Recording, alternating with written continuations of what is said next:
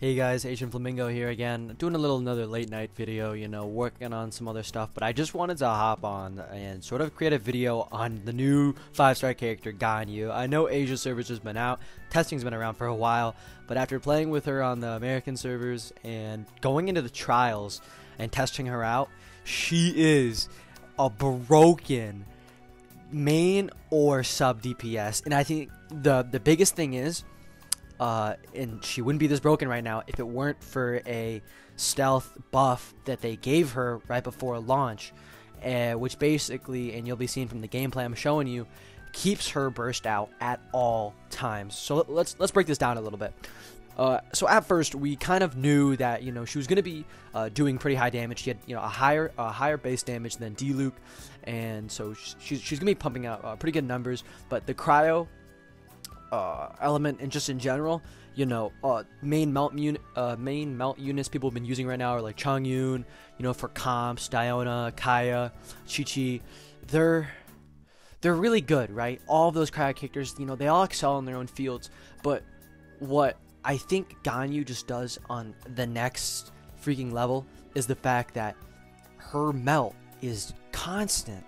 Not even melt. If you're doing any sort of elemental reactions, like from your seeing uh, from what you're seeing in the gameplay right here, her ultimate, you know, her burst is out the entire time, and that's because uh, there's a 15 second uh, downtime and a 15 second uptime on her burst, meaning that if you get enough uh, energy recharge by the time uh, that first burst you put out is done, you'll already be able to put out the next one. So that right off the uh, right off the rip is kind of busted, okay?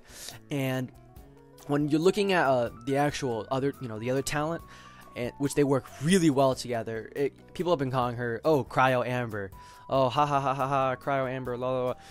Yeah, she's doing the same thing basically with her uh, her elemental skill, which is uh, Trail of uh, Qilin or Qiling, you know, however you want, uh, however it's pronounced. And basically, what's really good about this is because since you're not really worrying too much about uh, micromanaging uh, when you're putting out skills because you can just put these both out at the same time and you're going to get enough energy back to just put her burst out and you can have both of her skills out the entire time. She does like a back dodge, and all of a sudden, you've put out your Celestial Shower, which is her burst. It's going down in AoE, and if you put down her elemental skill, they're all being drawn into that circle. So if you land them right on top of each other, which you're going to be seeing me do uh, consistently throughout this video, they're they're going one right on top of each other, and having that uh, the sort of you know decoy skill that Trail of uh, Qiling uh, does, you're gonna be hitting your icicles no matter what. And I know a concern was when she first came out. Uh, you know the icicles they're not really landing. You know like they're random. They're landing so frequently it doesn't matter. And just as an added bonus, when you're actually in uh, the area, you're uh, you're actually uh, you get a cryo damage boost. I'm pretty sure. I'm actually looking at it right now. Uh, striking opponents within an AOE and dealing cryo damage. So that's just for the spears, actually. Um, so sorry about that. I'm actually going all over the place right here. So I don't know if exactly if you get a cryo boost. Oh, you do. Okay, yeah, with her her for uh, one of her talents. Um, Celestial Shower grants 20% cryo damage bonus to active party members in the AOE. So my, my biggest takeaway out of this character right now is the constant cryo effect being put onto enemies in the circle. As long as you have Celestial Shower up and you're you're putting down our elemental skill to pull them in there, the amount of energy recharge you can be getting is it's it's exponential. Just because purely if you're running if you have good energy recharge on your team, you'll have her burst uh, no doubt. And a lot of the other characters in your party, you know that you know you're you're uh, uh, let's say you're doing like a melt comp with Diluc they'll go great with her because unlike with Chongyun where you have to do auto attacks, you don't have to worry about that. She's she's doing her own thing. She's putting down cryo and all of a sudden you're getting two times damage. So I want to go into really uh, quickly some possible um, uh, artifact sets. So my first one that I'm really curious uh, in exploring is a two-piece, uh, the new two-piece uh, cryo set with a two-piece two piece uh,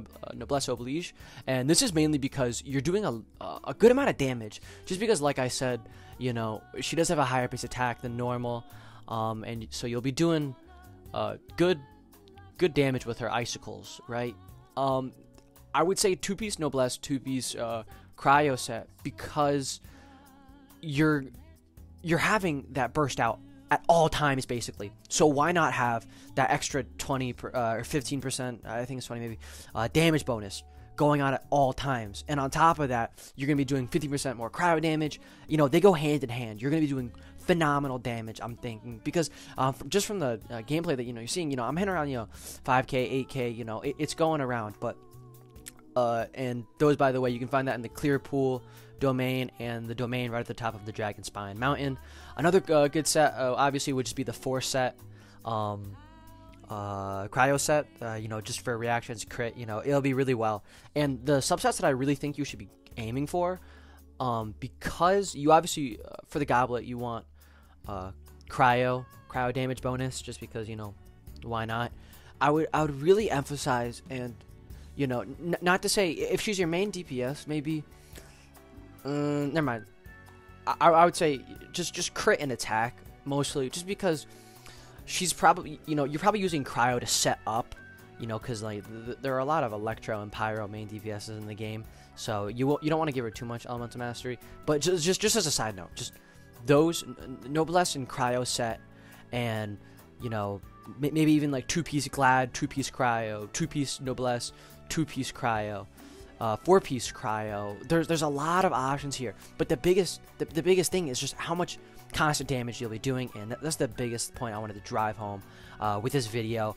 And you know, she's a phenomenal sub DPS just because you're always putting out uh, her skills, and if you have her as a main DPS, uh, you know, let's say if you're giving her, um, and the one thing I forgot to touch on is her is her charge shot. So there's two levels to it, obviously.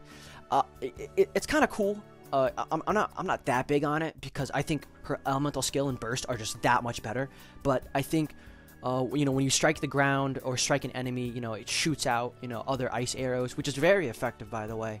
Um, it's you know it, it gets a little bit dwarfed by the other things she can be doing as a sub DPS. As a main DPS, I think it's huge. You know you'll, you'll be doing some really great uh, cryo damage on people, but um, uh, that, that's all I really have to uh, put out there, you know, for this video. I think um, I'll be... I pulled for uh, Albedo. Uh, he's a great character. Wish I could pull for Ganyu, though. She's so good. I think yeah, th this this is a this is a really big game changer. She's broken as a sub and main DPS. So, you know, you guys should really, uh, if you got the Primogems for it, pull for her.